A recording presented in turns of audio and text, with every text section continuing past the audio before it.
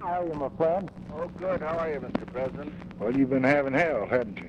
Well, you've got all these, these boys out here. They, because I'm, I guess, a Johnson man. They King rally on the week of Sunday was 50% Johnson. Johnson the killer, Johnson the destroyer of human uh, life, Johnson the killer in Vietnam. But uh, I think there's something that has to be dealt with very sternly and quickly, and that's the formation of this national gang picture that's taken place all over our country. Mm-hmm. I, had a, I had a call from some of the mayors, and they wanted to call a conference to put it on your lap, and I said, well, now, wait a minute. What the hell? Everyone tries to deliver the responsibility to someone else. Uh, there's no point in that. And they were greatly disturbed about Humphrey's statement National Guard won't solve anything, that if he were in the area, he'd act the same way. Mm-hmm. And I don't know where the hell we're going. And we're out here trying to defend the national picture and trying to do everything when there's $800 million held up with the urban renewal in Washington for all the cities of America because they haven't got the money. And we don't, no one says anything about that. I don't know why some of these Washington men are sounding off about the Guard. The Guard was called to save life and protect law and order. I didn't know Humphrey had said anything about the guard. Well, I think the mayors are goddamn tired of listening to people like Humphrey sound off. It was nothing about the proposition. This was a speech in New Orleans today, and if he were in the area, he'd act the same way. And if he were in Chicago, and I were the mayor, he'd be locked up like anyone else. If that's what his attitude is, because I think we've gone a long way with the good doctor, uh, Mr. President. He's not your friend. He's against in Vietnam. He's a goddamn faker. He comes out here and he shows a picture of what this has been going on for a year. It's nothing new. And I confronted him with it the other day and told him right in the meeting, and he, and he refused. He said he didn't know. I said, Doctor, don't give me that, you know. Let me give you the documentation. Here it is. Here's your people. So this thing is, in my picture, uh, opinion, a national uh, subject. I don't know how the hell we approach it. Mm. It's the most dangerous thing we have in facing our country. You got this whole goddamn poverty program all wrapped up in it. You got all a lot of people in poverty, subversive as far as the national government of Vietnam, as far as the local government. It's a complete test, as I see it, of trying to have law and order in government or trying to have this other thing take over with constant agitation, with criticism of the president on Vietnam, and the both forces are very close together, and then also this very realistic national organization, which is becoming extortion in all the big cities. They're Mm. going in and telling the people, you either pay us off or we'll knock your windows out or we'll give you a Molotov cocktail or we'll do something else.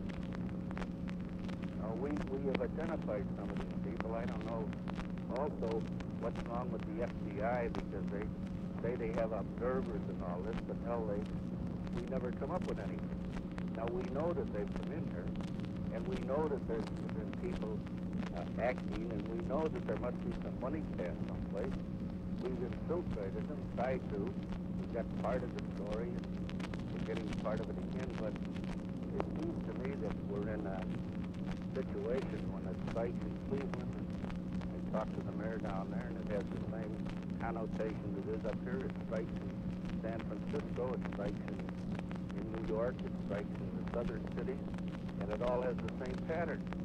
We've got a lot of organizations in our country that are breeding nothing but hatred of the president, hatred of the government, and open and armed rebellion. You see the picture in Life magazine last week?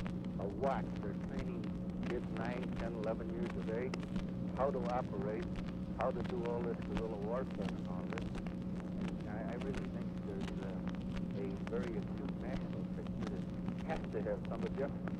Your men came in Saturday, John Doar from Civil Liberties and Mr. Wilkins from the community, and I said to them, well, is the Justice Department doing anything about this gang picture all over the country? Well, they didn't know. Well, I said, well, think about time someone would start to look into it? to see the relationship of one gang to the other, to see the way the people come from the poverty program to New York into Chicago and agitate the trouble that started, we've identified. And we've named them. And, and we've pointed it out. And the press come out today again in our city with a complete report on the organization known as RAM, R-A-M, which is the pro-Castro outfit that came back from Cuba, uh, operating out of New York. Now, they've been messed up in your outfit? Oh, sure. Because what they do is move all around the country. We, uh, we have to do some, we're, we're, our fellows are in there, our policeman captains, our workers, they're all in and out of there, and they're trying to, we're trying to get more and more information. Very cleverly done. It isn't a, it isn't something that's crudely done or uncouthly done. It's done with a lot of intelligence. And we've been trying to infiltrate this outfit to find out who are the people that are giving the orders. Identify a half a dozen of them. Beyond that identification, you can't go any further. But if they arouse the young people between 9 and 12 years of age, which they have in our city, I'm told the same thing in Cleveland, the same thing in Los Angeles, to this lawlessness and disorder, we're going to be in one hell of a shape. What shape have you got King in? Is he about ready to get out? Well, uh, I don't think so. I don't know, but after all, uh, he started this thing out here. He started on a Sunday, and 200 of these young fellas from a gang outfit stood out in the field and wouldn't get off. And kept hollering about Lackneys and Uncle Toms and Johnson, Daley, and everyone else, that, and they wouldn't get off the field.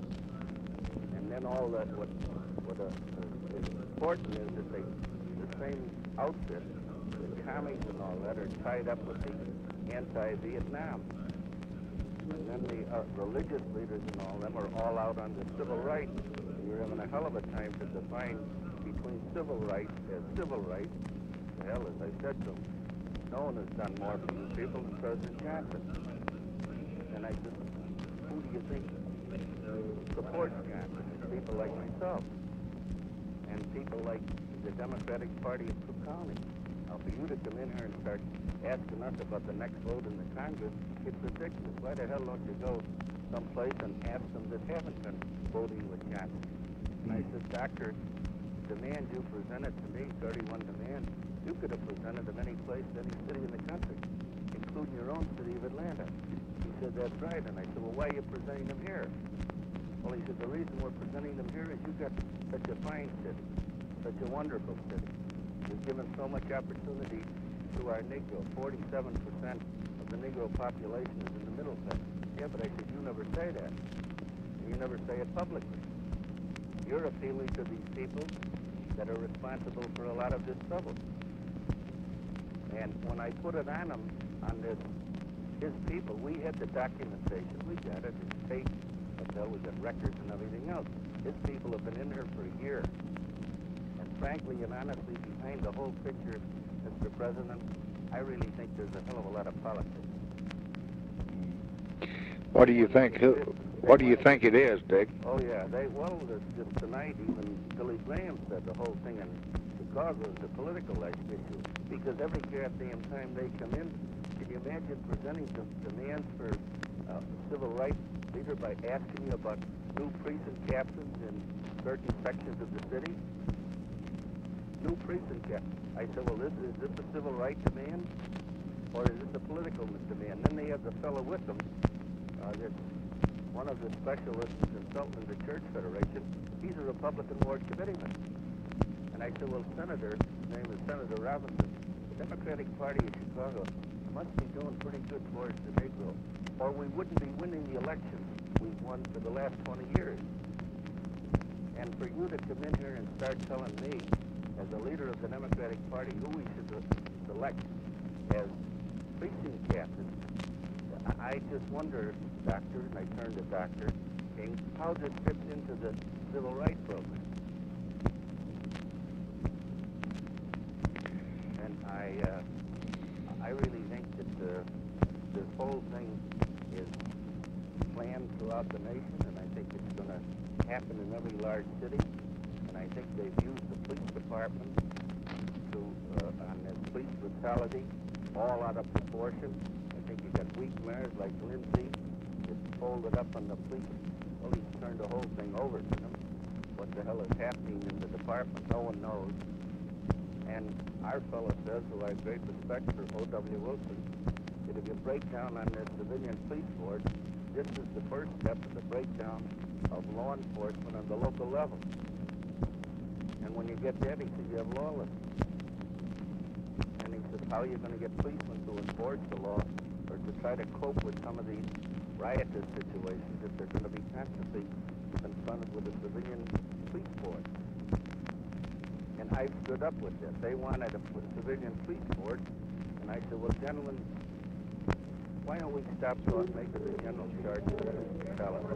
Why don't you document doctor or anyone else bring the name and the place and the incident, and then let that investigate.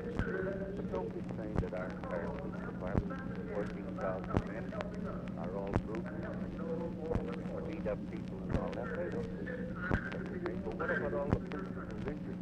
What about the police captain who shot in the back, standing in a place of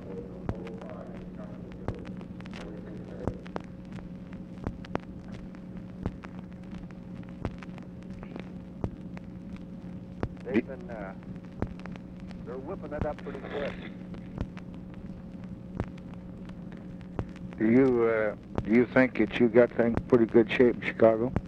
Uh, well, as good as they can be, but we need some some kind of federal help to shut off this gang situation. This gang situation in New York, in Los Angeles, in Philadelphia, in Cleveland, Pittsburgh, in Detroit, uh, in San Francisco is no good. And if it's allowed to go unabated, if it's allowed to go and fester the way it is, the majority of them are headed, as you know, by ex-convicts, dope pushers, uh, robbery with a gun, uh, all of this kind of business, and there something has to be done, President, on the sale of the guns. We, outside the suburbs, in the city we have control, but what the hell in the suburbs are there? Uh, you go out to all around our suburbs, we've people out there, especially the non-white, are buying guns right and left, shotguns and rifles and pistols and everything else. There's no registration, there isn't a damn thing. Something has to be done on this gun law because you see the same thing happen in uh, Cleveland that happened here. Snipers shooting off the roof at police. Well, uh, where the hell did they get the weapon? And there's no, and you know, you, they've had trouble with this national gun law, but after the president's assassination, someone to do something. We thought so, but you can't get the Congress to vote for it. These damn that's conservation leagues and everybody comes in. Guy, Guy God, when they see this thing that's happening here, they get the fact. And you see a lot of people are trying to put it under the mushroom of civil rights. Mhm. This isn't civil rights. This is civil disorder. Mhm. There's no what the hell out here?